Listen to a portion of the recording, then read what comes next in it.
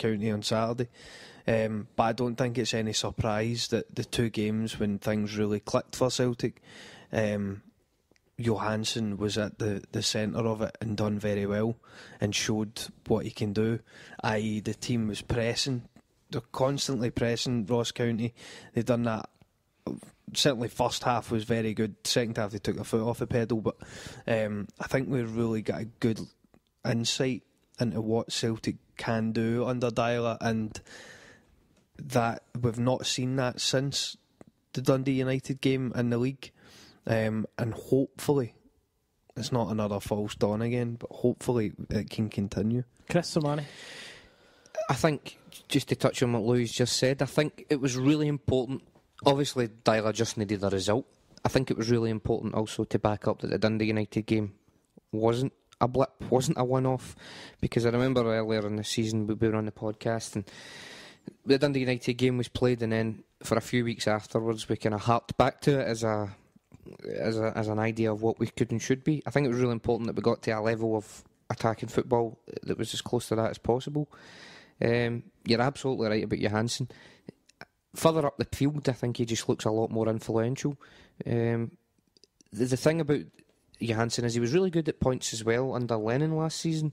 When there was guys talking about Johansen and how good he was, and the fact that you didn't really miss Joe Ledley when he left because Johansen was that impressive at points last season. But it was that he's been that bad sometimes this season. You were thinking, wait a minute, what's happened? I mean, it's not like he he's just been poor. At times, he's been deplorable. Yeah. Maribor at home, for instance, is the one that sticks out in my mind. How many times he gave the ball away? Exactly. How many times the guy best misplaced passes and put us completely into trouble, and you were kind of scratching your head to say, well, is this guy absolutely pish? Um, but it, it, Saturday was a timely reminder of how influential he can be on the team, and I think him being Norwegian, having played under Deila and being his man, I think if we can get him ticking, I think that might be key to Deila being a success as a Celtic manager. Yeah, absolutely. I thought he was just one of the best players on the pitch uh, by a mile. I was impressed. I'm a huge fan of him anyway. I thought Lustig gave a balance to the team. The difference that Lustig made at right back was unbelievable, and I think we really should need to bear that in mind. The imbalance we've had with Ambrose and Deila's not really had any choice but to play him, but the imbalance we've had with that lunatic playing there it can't really be un- underestimated. If we can keep Lustig fit and playing at right back, uh, the, I think you know things are going to be a lot easier for us. I think the other thing as well is that Matthews is back, um, Fisher is back training again. I don't. I can't see any way that Ambrose would get back into that team unless there was a big crisis with injuries again. I mean that balance. Not fullback anyway. No, no. I mean that that balance should be there now, and I think. I don't, I don't even think right. Fair enough. Lustig was very good, brilliant, but I think it's just having a proper right back there that back. sorted out a hell of a lot of the issues.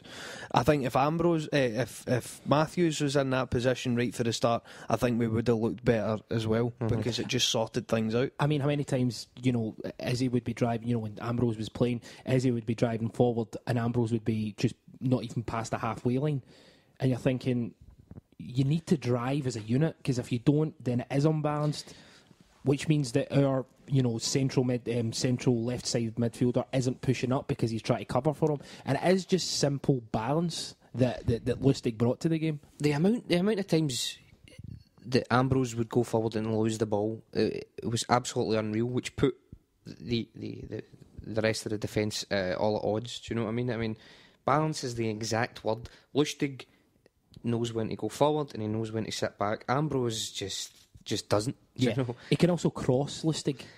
you know what I mean? Ambrose. Yeah, how many times has he just hit it out? At times, you know, he's just he's just terrible. The other the other thing with uh, Lustig, I, I noticed, especially first half when we looked so good, was not. He, he, there was more to his game as a position than just going forward, staying back which is what Ambrose more or less does. Yeah. Sometimes he will go forward and, and, and, and try and be like a winger, but he doesn't know what to do when he gets that high up the pitch. And then he thinks, right, I should just stay here and, and be a defender. Whereas Lustig was happy to kind of go three quarters of the way up, play some passes, come back and try and link up play. Yeah. And and he just understands everything that's going on on that side of the pitch so much better than Ambrose could. See, when I mean, the thing is, we've mentioned this before in the podcast.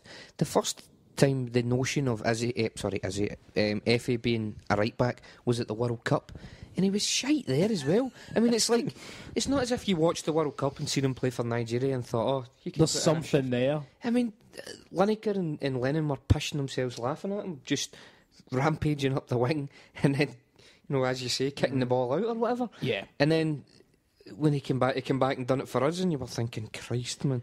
But as we say, th- that was a horrific run of injuries we had at right back, which is by far our strongest position in terms of depth. Hopefully, we don't see Efe back there anytime soon, if ever, please. I, I think there's a certain level of uh, just to kind of pick up on what you were saying, like there's a certain level of psychology. If you look at if you're a you know fullback or a winger playing for Ross County and you're up against Ambrose, you look at him and you can see that he doesn't know what he's doing, and instantly you think to yourself, "I've got the beating of him here before the ball's kicked." Whereas if you look at Lustig and you you look how awesome he is and how handsome and how hip he's probably got some really cool tattoos that we've not seen yet, um, then you think to yourself, right, this guy is a fullback. He as soon he can catch me out here, and I think there is a certain le- level of just psychology, seeing the right player in the right position. Um, but yeah, I mean, I, I mean, who else impressed you? Um, I made the point before we, we kicked off. Um, he scored the goal, McGregor. Um, he didn't do a lot other than that. Is that harsh? Maybe I'm being harsh. No, I, I would agree. I, I would agree. Me too. Thinking now back on the game, I can't really think of of, of much that he was involved he- he in. had a couple of little points in the second half where he he took a man on and he beat He him and got have- to the byline. he should have scored. He should have scored in the second half. Remember, he was one on one with the keeper. Yeah, Yeah, there- there was Uh, a- yeah. and he, and he should have put that away. But yeah, we've said it. We've just- We have spoke about it and whether he should be he dropped. And I don't know. I, I thought Maybe, are we expecting too much of him because he is only twenty? I think I think we maybe are. I think one of the things he needs to learn is to impose himself in a game a bit more, Yeah. and that that can come because we've seen him beat men. We can see he can score goals. We know that he's a talented player. He's got what it takes in his locker. The next step is imposing himself more, beating more men, and being more consistent. I think we need to bear in mind that he is only twenty, and that could come. And as I say, maybe Deila should lo- use him a bit more sparingly. Yeah, Um, he's. I, I think I'm. I'm guilty of of uh, personally kind of getting it into my head that he's going to be like James Forrest, and he's a different player. He's not a winger. He, he's not a, a a pacey winger who wants to try and beat a man. I don't think. Yeah. I think he can do that sometimes, but I, I don't think that's what he would he would like to do. I think he likes to. To play a pass and run into space, feed off people. is he more like Aidan McGeady? than Forrest. Yeah, possibly. I think Aid- Aiden ended up. He started off always wanting to go outside of a man, and then as things progressed, he he was increasingly coming inside, always getting inside. Obviously, he was ushered inside a lot of the time to try and stop what he was doing. But I think He's got he's got a disgusted look in his face. I Why have you got a disgusted look in your face? He doesn't. He reminds me more of Commons. It doesn't remind me at all of McGeady. Well, let, let him finish. Let, me- let Louis finish your point. I, I just think um, I- I think McGregor is similar in that way that um, he would rather play um, inward rather than trying to go out wide and, and, and go right to the byline. yeah, Um, I think he's more direct um, in Well- that in that sense. that that kind of covers your point about him being more like uh, Commons. Yeah, I mean, he's not as creative as McGeady, um, and as Louis said, he's he's he's happier going more central. Um, he's a better finisher than McGeady. Um, I'll certainly give him that. But I I think that's where the, the comparison ends. I, I- I think he does remind me a bit of Commons, and as in he, he, he might not do much, but he, he'll pop up with a goal. Um, I, I just I, I, I, I don't know about McGregor. Do you know what I mean? I, I, I think I'm not sure what he is. I mean, he, he has a, he has been scoring goals for us, but has he particularly been creative since he's been in the team? Would you say he's made a lot of goals? Do you know? I mean, it's like He's got five goals. Five of the goals have all come come away from home. right. Uh, f- I think three or four of them are in European terms, European football. Yep. So he's scoring at a high level. Mm-hmm. St- I, I agree with you. I, I, I- think we're all so desperate for Celtic to have Scottish or Glaswegian players, or just you know Scottish players in that team who know what it's like to play after you know the, some of the crap we've had with you know your Pukkis and Boerrigters and stuff like that. We just want Scottish players playing, you know, who, who know what it's like to play for Celtic. Because we're so up for that and so determined, maybe we defend them a bit too much. We try to maybe see through their kind of Deficiencies. deficiencies. I'm not saying that he is. it. I, I think he's a talented player. I've just yet to see what everyone else is raving about at this point. I'm to see. I'm still to see how he got a Scotland call up ahead of some of the Dundee United boys who've been doing it. You know, for the last two or three seasons. Um, but that's that's where I stand on it. I think I, we all want him to be successful at the end of the day. But I mean, I, I think it's, no, a hard, it's a hard one. I think so. I mean, see if if you said at the start of the season, you know, we would he would have played so many games and he'd have done what he's done, you'd have taken it. Um, I just don't think he's a a, a really a, a vital cog in our team right now. I don't think we're anything. I, I don't think we're down when he doesn't play. Exactly. I, I I think if you said if you looked at the team lineup and McGregor wasn't there, you wouldn't immediately shite yourself. like if Brown wasn't there, or if uh, you know, uh, m- just, just mentioned He's- him, Lustig. He's maybe simply just the best God. player for. He's the best player there is available for the position that he's playing in. What? Who would go in his place in that kind of right side of the three behind the the striker? That's a good point. There's nobody, you know, knocking down the door of the first team to, to take to take his place just now. I mean, a lot of the wide players that we've brought in have been shite. So I mean, you can't you can't really say anybody's staking a claim for a position in front of him. We're also just to make this, we're not getting on his back at all because you know we, we do want him to be successful. Um, it's just I, I've yet to see what you know. He's scoring goals. It's it's hard. Here's a question actually um, we got today, which kind of ties in a little bit. It's from Paul Moody. His uh, Twitter handle is at Sword of Reason. Uh, give him a follow. He asks, "Does Common fit into this team? Um, the movement on Saturday um, was excellent. The pass and pacing they had without him. Does he fit into the team?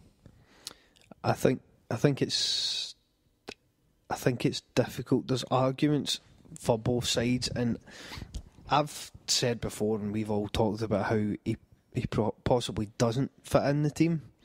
That he doesn't fit into the system quite as much. That uh, Deila wants players who are going to work hard, constantly be pressing, and and you can't have luxury players like Commons who are not going to get into that pressing and do the work for the team because if if unless everybody does it, then it kind of defeats the purpose and it, and it can uh, you can have kind of holes in it. Detrimental. But in saying that, there's been times this season when Commons has came into the team and we've looked instantly better. We've created more chances and he's showed us what he can do. So I think it's I think it's a difficult a, a long term he doesn't fit in the system, but you can't argue with the effect that he has on the team when he does come in. Yeah. But he's possibly still a bit of a luxury, I think. He gets important goals. Um, we've got the the Zagreb game being being the last time where he, he stepped up to the plate. Um, another thing as well is he's the he's the darling of the Scottish press when it comes to Celtic. If Deila doesn't play Commons, guys like Keevins and all these Hartson, Sutton. what these We'll worn, get to them in a minute, by the way. well, these worn out hacks and, and pundits, you know, the, a lot of them are like lining up to take a boot at Deila. Now, Deila certainly deserves criticism for what he's done so far, but the likes of Commons, ah, he's not playing Chris Coy, doesn't he know what he's doing and stuff like that. Whereas, you know, guys that actually go every week and watch the game know that Chris Commons, although a fine player, can influence the games, at times offers very little to nothing. As you said, he can be a luxury player. You've got him in the team because he could pop up with that goal. If he doesn't pop up with that goal, you've got a player who, for long periods of the game, hasn't contributed. Um, I think ongoing, I don't think, still don't think